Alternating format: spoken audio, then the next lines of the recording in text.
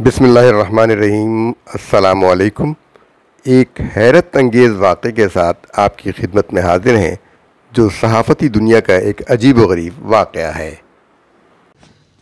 ये 27 अगस्त अट्ठारह का सच्चा वाक़ है, जो कि उस वक्त के अमेरिका के मशहूर अखबार बोस्टन ग्लोब में शाये हुआ। महज गलत फहमी की बिना पर उस अखबार ने शाये कर दिया।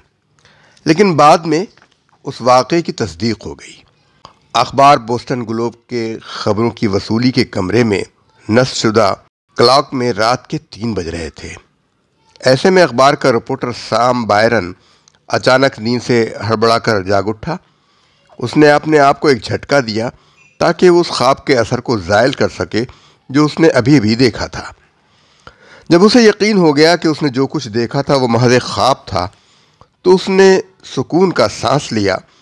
उसे लोगों की चीख पुकार अब भी साफ़ सुनाई दे रही थी। तो समुंदर के खोलते हुए पानी में गिरे जा रहे थे, जिसमें वो बुरी तरह तड़प रहे थे। उसे वो तमाम मंजर इस तरह दिखाई दे रहा था, जैसे वो हवा में मुअल्लक हो गया हो। पिघला हुआ लावा और चटाने पहाड़ के पहलू में वाक़ खेतों और गाँव के लोगों के सरों पर से उड़ रहा था।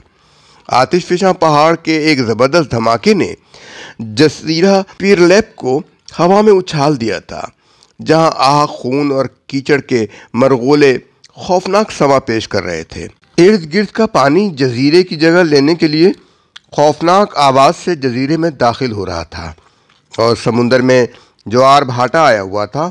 आगो खून लोगों की चीखों, पुकार और समुंदर के ज्वार भाटे की खौफनाक आवाज़ों ने बायरन को किसी हद तक मखबूतुल हवास बना दिया था और वो बोस्टन ग्लोब के दफ्तर में बैठा, ख्यालात में खोया हुआ था।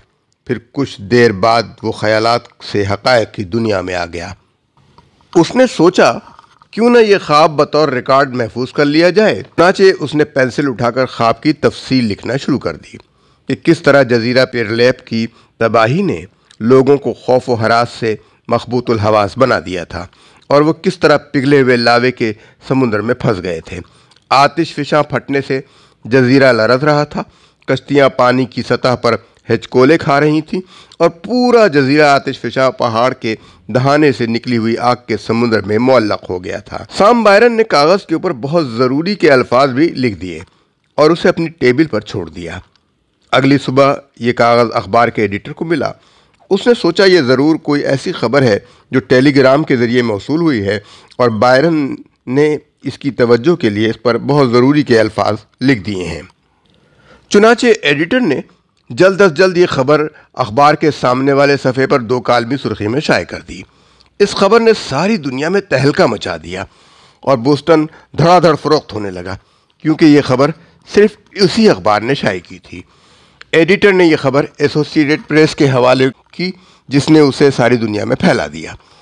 उनतीस अगस्त अट्ठारह को दुनिया के तमाम अखबार की खबर यही थी। लेकिन बोस्टन ग्लोब के लिए यह खबर दर्द सर बन गई, क्योंकि कई एक अखबार ने इस खबर की मज़ीद तफसीत तलब की, जो कि एडिटर के पास मौजूद न थी।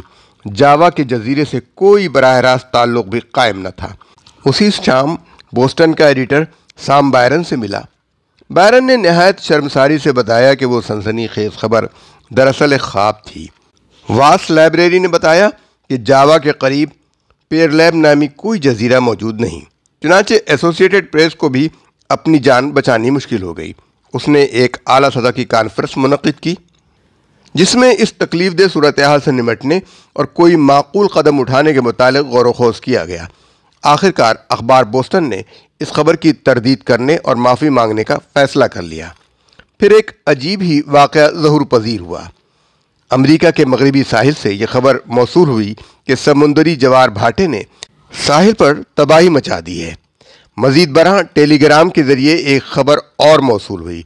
समुद्री जवार भाटे से कई कश्तियाँ गर्क हो गईं, जिसमें हज़ारों अफराद लुकम अजल हो गए। अभी बोस्टन ग्लोब ने तरदीद शाये नहीं की थी कि मुल्क के दूसरे अखबार ने तशवीशनाक खबरों को शाये कर दिया। बाज़ लोग तो आए दिन तूफ़ान की खबरें सुनने के लिए बेचैन थे। ऑस्ट्रेलिया से एक खबर मौसू हुई कि यहाँ की फ़ज़ा तोप के गोलों जैसी आवाज़ों से लरज उठी है और साथ ही समुंदर में जवार भाटा उठ चुका है, जो सारी दुनिया में फैल चुका है। चंद दिनों बाद अमेरिका के साहिल पर एक जहाज़ लंगर अंदाज हुआ जिसने हैरत अंगेज़ वाक़ात बयान किए कि जावा के करीब आबनाए संडा में कराकटुआ जजीरा आतिफिशा पहाड़ फटने से समुंदर में गर्क हो गया है और इस जजीरे के तमाम बाशिंदे हलाक हो गए हैं। जो ही ये खबर मौसू हुई, अखबार बोस्टन ग्लोब ने अपनी पिछली खबर की तरदीद और माफ़ी नामा छापने का इरादा तर्क कर दिया। दूसरे अखबार ने भी इस खबर को जली हरूफ में शाये किया कि कराकटुआ के हालात 27 अगस्त से ख़राब होने शुरू हो गए थे और ये जजीरा 28 अगस्त को ठीक उसी वक्त डूब गया जब साम बायरन अपने दफ्तर में बैठा हुआ ख्वाब देख रहा था। इस जजीरे के गायब होने को अजीम हादसा करार दिया गया। आतिश फिशा पहाड़ फटने से जो धमाका हुआ, वो सारी दुनिया के जलजला पैमा आलात पर रिकॉर्ड किया गया। लेकिन शाम को तो ख्वाब में पेरलैब जजीरा नज़र आया था, जबकि डूबने वाले जजीरे का नाम कराकाटुआ था। कराकाटुआ और पेरलैब के नामों में कई साल इख्तलाफ रहा हती के डच आस्ट्री सोसाइटी ने एक नक्शा दिखाया जिसमें कराकटुआ का पुराना पेर पेरलैब ही दर्ज था। उनके ख्याल में इस जजीरे का नाम हज़ार पचास साल से मतरूक था। तो वो अब मम्मा हल हो गया। जजीरा कराकटुआ का पुराना नाम पेरलैब ही था। और ये अल्लाह की ही कुदरत है कि अवत कुछ लोगों को भी पेश आने वाले वाक़ात ख्वाब में दिखा देता है।